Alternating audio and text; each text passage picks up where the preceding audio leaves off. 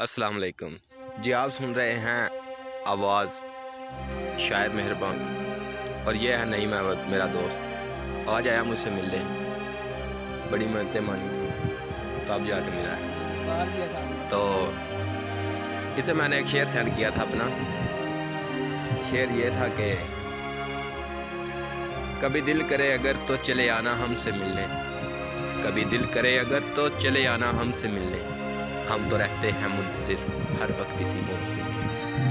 खैर में सुनने